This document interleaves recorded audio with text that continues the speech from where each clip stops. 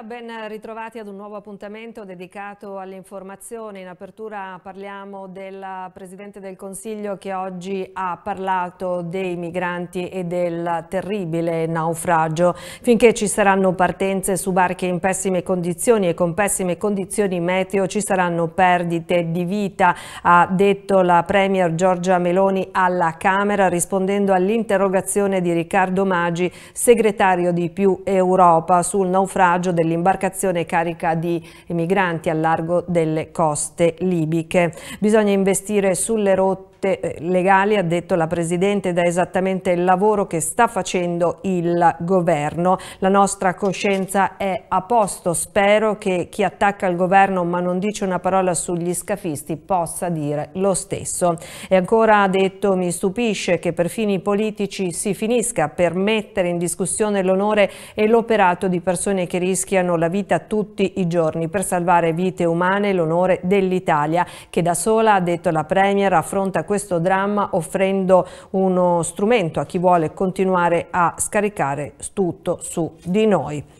E adesso invece parliamo di un gravissimo incidente avvenuto questa mattina lungo l'autostrada 22, un maxi tamponamento tra vari mezzi, sei persone sono rimaste ferite, vi raccontiamo che cosa è successo e vi facciamo vedere alcune immagini. Intervento dei vigili del fuoco stamattina per un tamponamento che ha interessato otto mezzi tra autovetture e mezzi pesanti sull'autostrada A22 in direzione sud dopo il casello di Nogarole Rocca. Sei persone sono rimaste ferite. I vigili del fuoco arrivati dalla centrale di Verona con 12 operatori e tre automezzi, tra cui un autogru, hanno operato per mettere in sicurezza i veicoli coinvolti ed estrarre due autisti dai mezzi pesanti incastrati tra le lamiere, per poi affidarli alle cure del personale sanitario. A causa dei tamponamenti avvenuti nello stesso tratto in direzione nord è intervenuta una squadra di Mantova che ha soccorso i feriti e messo in sicurezza i mezzi coinvolti. L'autostrada in direzione sud è stata chiusa al traffico per tutta la mattinata per consentire il ripristino delle condizioni di sicurezza della sede stradale. Sul posto anche Polstrada e gli ausiliari della viabilità. E adesso parliamo della riforma fiscale in discussione. Dopo il confronto di ieri con i sindacati sui principi della delega per la riforma fiscale, oggi sono stati ricevuti a Palazzo Chigi i rappresentanti delle associazioni di categoria e degli ordini professionali che hanno espresso un parere positivo per una riforma organica e completa, fornendo importanti e concreti contributi al dibattito. Lo riferisce Palazzo Chigi con una nota. E adesso parliamo di, una, di un incendio, paura in una palazzina di due Carrare in provincia di Padova. Verso le 5 di questa mattina è scoppiato un incendio nell'edificio di due piani in via Galileo Galilei. Un uomo è rimasto ferito. Sono stati momenti molto concitati.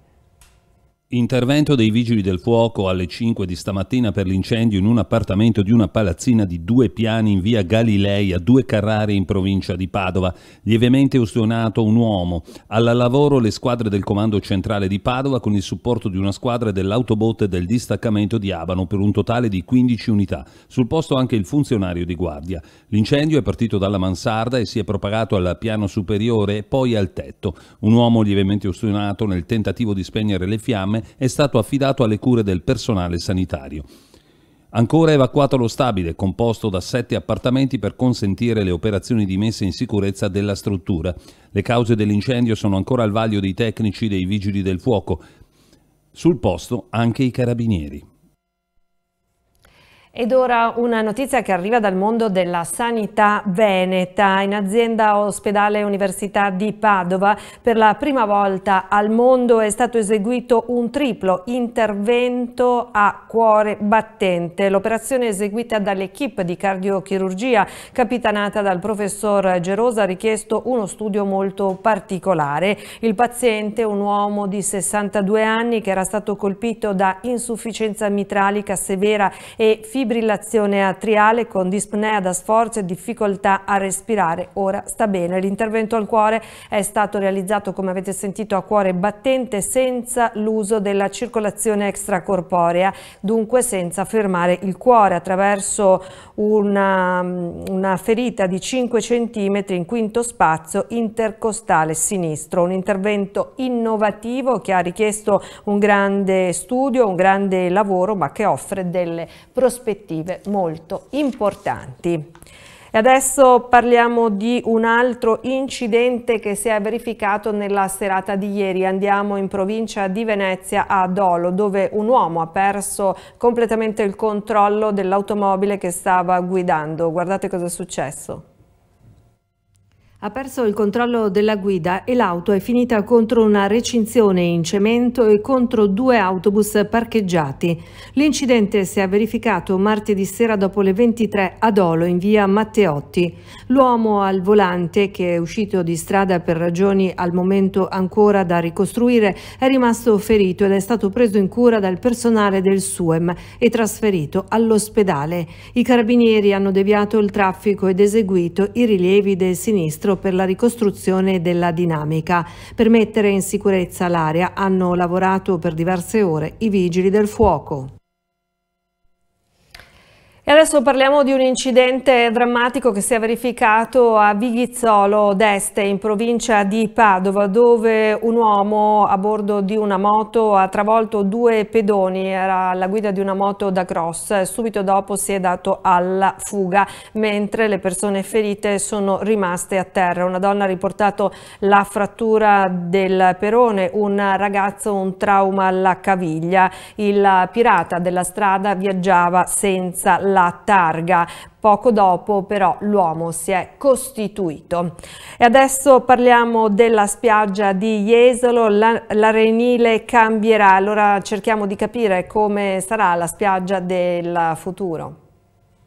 È destinata a cambiare volto la spiaggia di Jesolo in provincia di Venezia. Le nuove esigenze hanno portato a disegnare un nuovo progetto che risponde al mercato del turismo. La spiaggia del futuro presto diventerà realtà in questa località che ogni anno richiama turisti da tutto il mondo. In Consiglio Comunale è stata adottata la variante al piano particolareggiato dell'Arenile che prevede l'accorpamento dei settori che passeranno dagli attuali 31 ai futuri 16 che vedono ora definiti unità minime di gestione. Rientrano nel piano le concessioni attualmente esistenti, quindi anche quelle relative ai chioschi, garantendo gli spazi al noleggio natanti e centri velici, con l'obiettivo di rispondere alle nuove esigenze di mercato. La suddivisione ha tenuto conto dei servizi esistenti, ma considerato che le concessioni non sono omogenee, anche della possibilità di nuove valorizzazioni delle aree.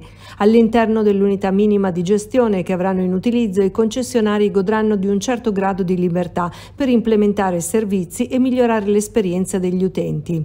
Come da disposizione di legge, la città deve garantire il 20% del fronte concessionato a spiaggia libera. Il 13% viene garantito dalle cinque macro aree della Foce del Piave e del Sile, della zona Casabianca, della zona Croce Rossa e della Laguna del Mort, mentre le unità minime di gestione devono gestire il restante 7%. Il percorso pedonale, di cui il vecchio piano definisce anche il motivo a onda dei piastroni potrà essere rinnovato purché mantenga omogeneità di realizzazione lungo tutta la spiaggia. Pioggia e grandine questa mattina in molte zone del Veneto, in alcuni punti questo scenario insolito per il 15 marzo ha lasciato anche una coltre bianca a terra, ci sono stati anche lampi e tuoni, una perturbazione che poi ha lasciato spazio a una giornata soleggiata e le condizioni dovrebbero mantenere il cielo sereno anche per la giornata di domani. Si chiude qui questo spazio dedicato dedicato alle ultime notizie. Come sempre grazie per la vostra attenzione e vi do l'arrivederci.